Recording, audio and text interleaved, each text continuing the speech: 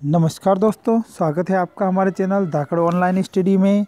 इस वीडियो में हम राजस्थान सामान्य ज्ञान से संबंधित पाँच, ढाई सौ प्रश्न को देखने वाले हैं और ये ढाई सौ ही प्रश्न जो है, वो राजस्थान कांस्टेबल के एग्ज़ाम में पूछे गए हैं। उन्हीं प्रश्नों को हम यहाँ पर देखने वाले हैं। तो वीडियो प्रारंभ करते हैं हम। पहला जो प्रश्न है, वो है, डूंगरपुर बांसवाड़ा का प्राचीन नाम है। तो डूंगरपुर बांसवाड़ा का प्राचीन नाम क्या है? तो डूंगरपुर बांसवाड़ा का प्राचीन नाम वागड़ है।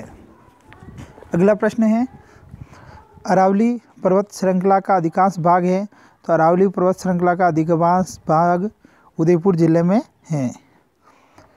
अगला है, राजस्थान को दो भागों में बांटने वाली समवर्षा रेखा है तो राजस्थान को दो भागों में बांटने वाली समवर्षा रेखा 50 सेंटीमीटर है। अगला प्रश्न है, राजस्थान का अंतर्राष्ट्रीय सीमा पर स्थित जिला है तो बीकानेर। दोस्तों, ये ऑप्शन वाले प्रश्न हैं। यहाँ पर वन लाइन के अंदर लिखे गए हैं। बाकी ये ऑप्शन के सहित राजस्थान पुलिस के एग्ज़ाम में पूछे जा चुके हैं। उसके बाद अगला प्रश्न है, राजस्थान भारत के किस भाग में स्थित है? तो राजस्थान भारत के उत्तर पश्चिम भाग में स्थित है। अगला प्रश्न है, किस नदी को सांगपो के नाम से जाना जाता है? तो चीन के अंदर ब्रह्मपुत्र नदी को सांगपो के नाम से जाना जाता है। अगला प्रश्न है, बाणगंगा नदी का उद्गम स्थल कहाँ है? तो बाणगंगा नदी का उद्गम स्थल विराट नगर की पहाड़ियाँ जयपुर के पास में हैं। अगला प्रश्न है, कौन सी नदी अरब सागर में गिरती है? तो माही नदी अरब सागर में गिरती है। अगला प्रश्न है, राजस्थान में चूलिया जलप्रपात किस नदी पर है? तो चूलिया जलप्रपात चंबल नदी पर है। अगला प्रश्न आता स्वेज नहर किनको जोड़ती है? तो स्वेज नहर लाल सागर व भूमध्य सागर को जोड़ती हैं। दोस्तों, वीडियो अगर आपको पसंद आ रहा है तो आप हमारे वीडियो को लाइक करें, साथ के साथ में अपने फ्रेंड्स को भी शेयर कर दें। और हाँ अगर आपने चैनल को सब्सक्राइब नहीं किया तो प्लीज़ आपसे रिक्वेस्ट है कि हमारे चैनल को भी ज़रूर सब्सक्राइब कर दें। अगला प्रश्न है, बनास नदी का उद्गम स्थल है। तो बनास नदी का उद्गम स्थल खमनौर की पहाड़ियाँ हैं, जो राजसमंद ज़िले के अंदर स्थित है। अगला प्रश्न आता है, राजस्थान में मीठे पानी की झील है तो मीठे पानी की झील जय समंद उदयपुर में स्थित है। अगला प्रश्न है, इंदिरा गांधी नहर के योजनाकार थे? तो इंदिरा गांधी नहर के योजनाकार कंवर सेन थे।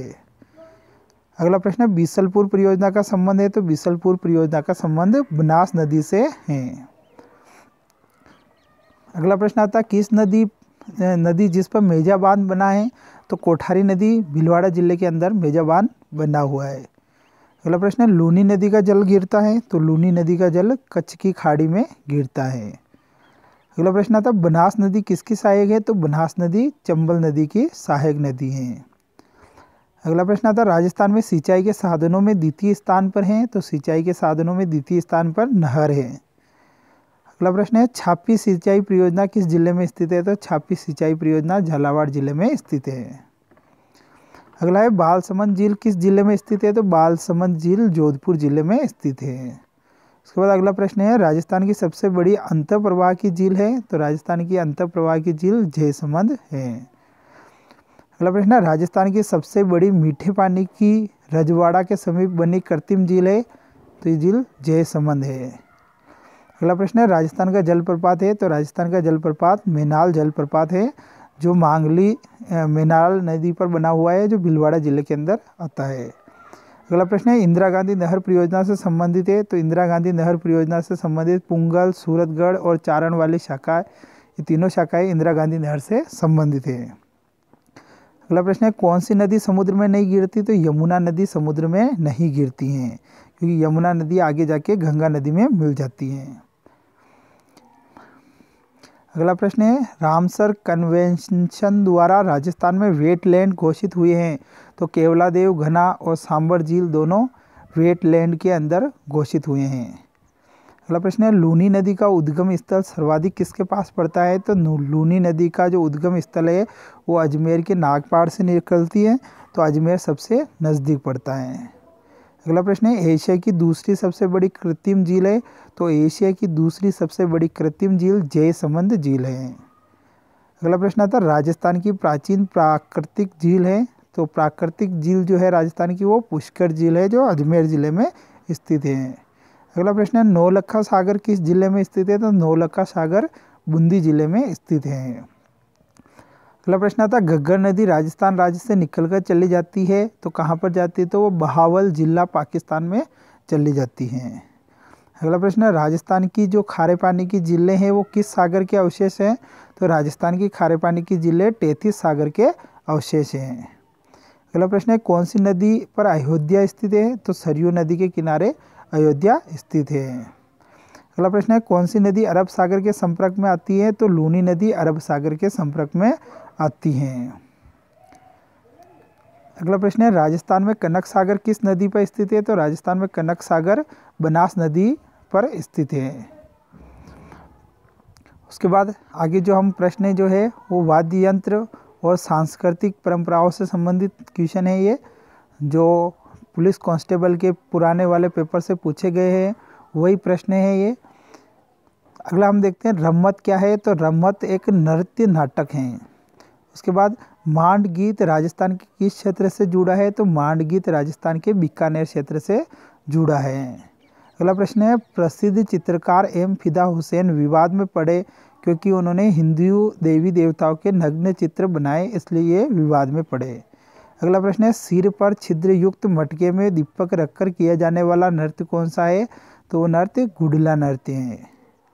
अगला प्रश्न है, आदिवासियों में लीला मोरिया संस्कार किससे संबंधित है? तो आदिवासियों में लीला मोरिया संस्कार विवाह से संबंधित हैं। अगला प्रश्न है, कु किससे संबंधित है? तो कु भील जनजाति के घरों को कहा जाता है। अगला प्रश्न है, ऐसी जनजाति जो मकान बनाकर नहीं रहती तो गाड़िया लोहार। अगला प्रश्न है, डूंगरपुर में किस भील का शासन था? तो कुशाला नामक भील का डूंगरपुर में शासक था।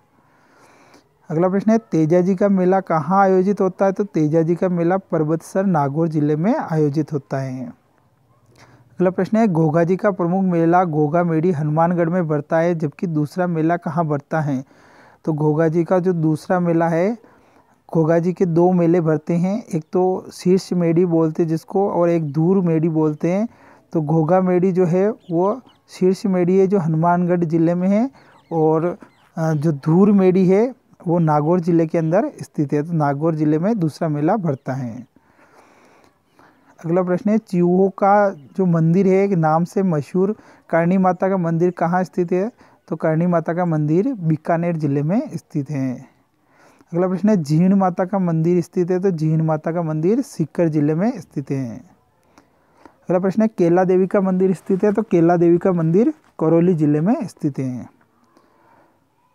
अगला प्रश्न है, जम्बेश्वर जी का मेला लगता है तो मुकाम बाड़मेर के अंदर जम्बेश्वर जी का मेला लगता है। अगला प्रश्न है, गधों का मेला कहाँ लगता है? तो गधों का मेला जयपुर के अंदर लगता है।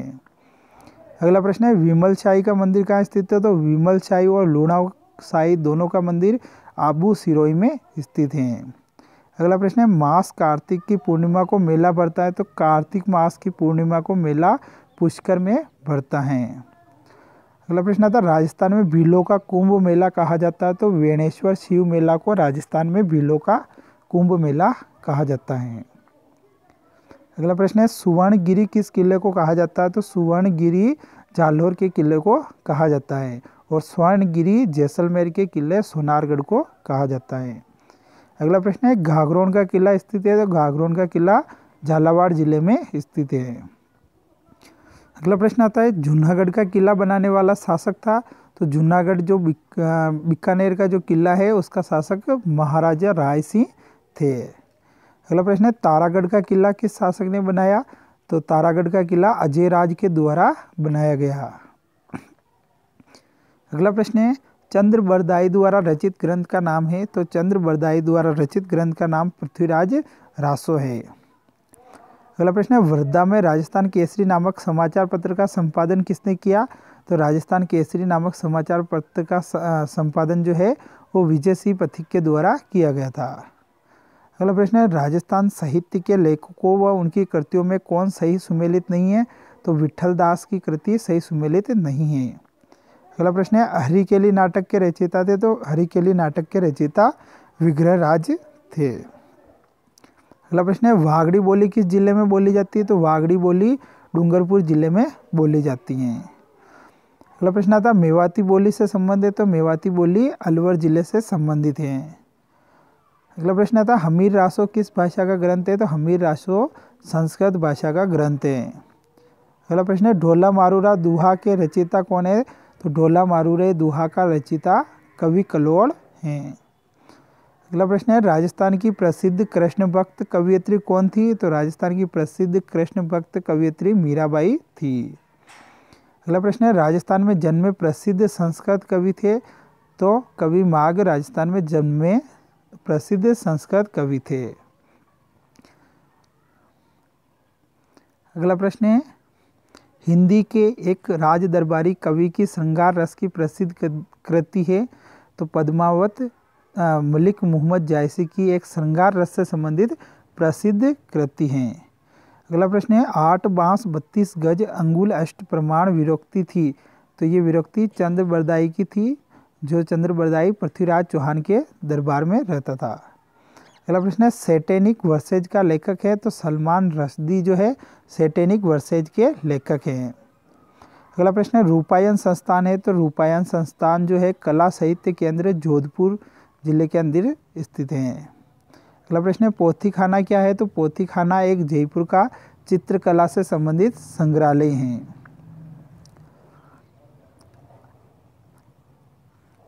आगे की जो प्रश्न है, वो पशु संपदा व कृषि से संबंधित है, जो कांस्टेबल के पुराने वाले पेपर में पूछे गए हैं। तो इसमें सबसे पहला प्रश्न है, ऑपरेशन फ्लड किससे संबंधित हैं? तो ऑपरेशन फ्लड दुग्ध उत्पादन से संबंधित हैं। अगला प्रश्न आता है, केंद्रीय ऊँट प्रजनन केंद्र कहाँ स्थित हैं? तो केंद्रीय ऊँट प्रजनन केंद्र जोहर बीड़ बीकानेर में स्थित हैं। अगला प्रश्न है, राजस्थान में पशु चिकित्सा कॉलेज हैं तो राजस्थान में पशु चिकित्सा कॉलेज बीकानेर ज़िले में स्थित हैं। अगला प्रश्न कौन सी गाय की नस्ल नहीं है? तो राठी, मुरा, कांकरेज, थारपाकर, ये सारी गाय की नस्ल है और मुर्रा जो है वो भैंस की नस्ल है। तो जो मुर्रा है, वो भैंस की नस्ल है। बाकी राठी कांकरेज और थारपाकर ये सारी गाय की नस्ल हैं। उसके बाद अगला प्रश्न है, ऊँट के चमड़े से बीकानेर में बना जलपात्र क्या कहलाता है? तो कॉपी जलपात्र कहलाता है।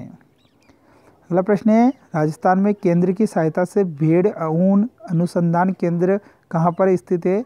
तो ये अविका नगर टोंक में स्थित है। अगला प्रश्न है, सर्वाधिक बकरियाँ राजस्थान के किस ज़िले में पाई जाती हैं? तो सर्वाधिक बकरियाँ राजस्थान के बाड़मेर ज़िले में पाई जाती हैं। अगला प्रश्न आता है, राजस्थान का पशुधन की दृष्टि से देश में कौन सा स्थान है? तो राजस्थान का पशुधन की दृष्टि से देश में पाँचवा स्थान है। अगला प्रश्न है, थार परकर किससे संबंधित है? तो थार परकर एक पशु नस्ल है, जो गाय की नस्ल है। अगला प्रश्न है, कौन भेड़ की नस्ल नहीं है? तो चोकला, नाली, साहिवाल, लोही। तो इसमें जो लोही है, वो भेड़ की नस्ल नहीं है। बाकी चोकला, साहिवाल और नाली भेड़ की नस्ल हैं। अगला प्रश्न है, भारत में हरित क्रांति के जनक कहलाते हैं। तो हरित क्रांति के जनक एम एस स्वामीनाथन कहलाते हैं।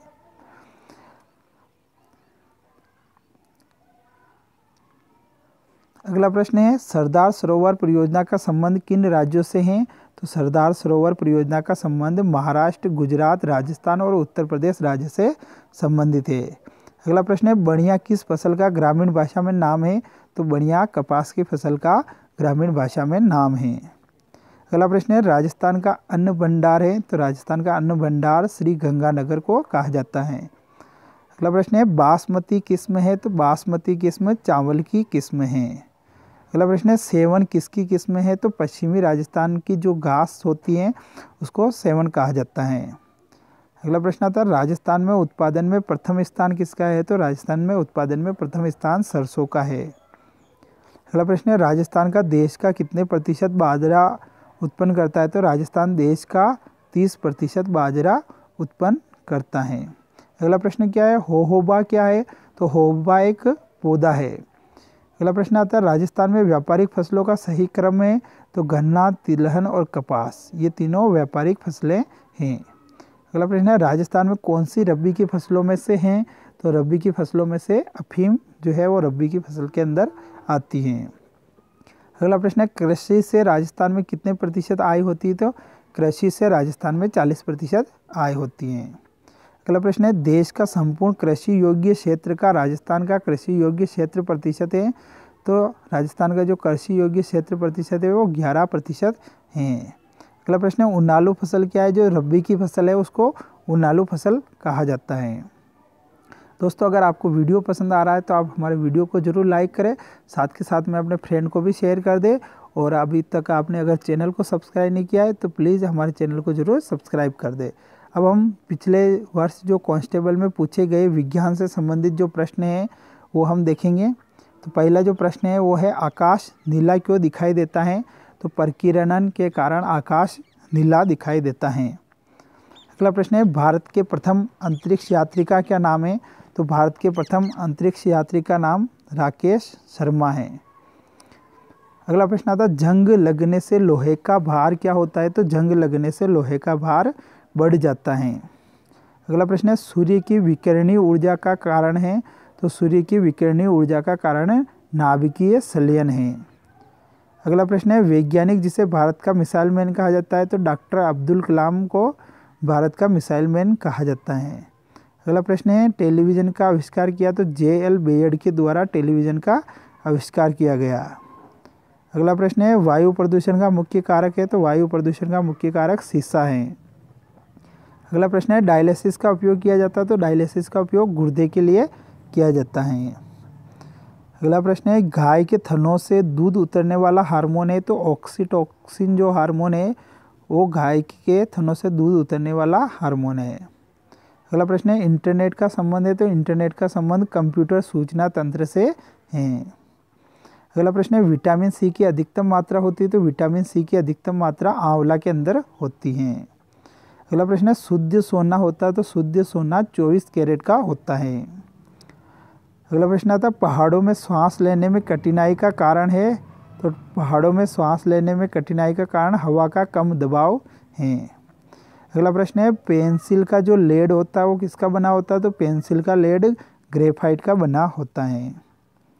अगला प्रश्न है, अधिकतम प्रोटीन वाला वनस्पति खाद्य है तो अधिकतम प्रोटीन वाला वनस्पति खाद्य सोयाबीन है।